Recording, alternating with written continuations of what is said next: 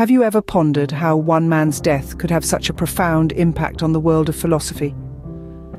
This question brings us to the enigma of Socrates, an individual whose influence remains undiminished centuries after his demise.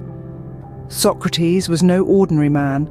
Born in the heart of ancient Athens, he was a stonemason by profession, but his true calling lay in the realm of philosophy.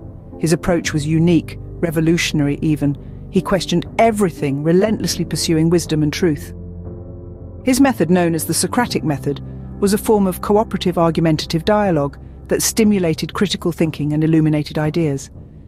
His influence was vast, his teachings profound, and yet they were not without consequence.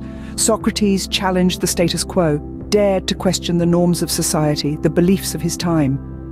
This did not sit well with the powers that be. His teachings were considered a threat, his influence a danger, and so he was put on trial, accused of impiety and corrupting the youth. Socrates, a man who dared to question, found himself facing the ultimate consequence. In the heart of Athens, Socrates was put on trial, not for a crime of violence or theft, but for corrupting the minds of the youth and impiety. This was no ordinary trial. It was a trial of ideas, a trial of philosophy. The charges were grave, but the man standing accused was unflinching. Socrates, the father of Western philosophy, stood tall, his wisdom his only weapon. He was accused of questioning the pantheon of Athenian gods, a direct affront to the city's traditions. His teachings, it was claimed, led the youth astray, prompting them to challenge the established order. But Socrates was not to be silenced. He defended his philosophy with the same passion with which he lived his life. The unexamined life is not worth living, he declared, reinforcing his belief in the pursuit of knowledge, even if it led to uncomfortable truths. His conviction was unwavering, his philosophy uncompromising. He was offered a chance to repent, to renounce his teachings and live. But Socrates chose truth over life. He chose philosophy over compromise. And so, he was sentenced to death, a lethal dose of hemlock his final libation. But even in his last moments, Socrates remained resolute. He drank the poison with the same courage and conviction with which he had faced his accusers.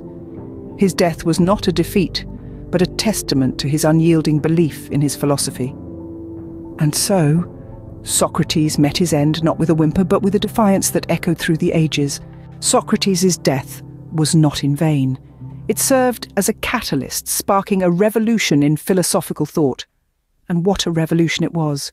His demise shaped the works of his students, the likes of Plato and Aristotle, who carried his torch, illuminating the world with their own philosophical insights. It wasn't just about the teachings he left behind, but the symbolic resonance of his death. It was a testament to the freedom of thought and the heavy cost of challenging established norms. In death as in life, Socrates left a mark on the world of philosophy that remains indelible even today.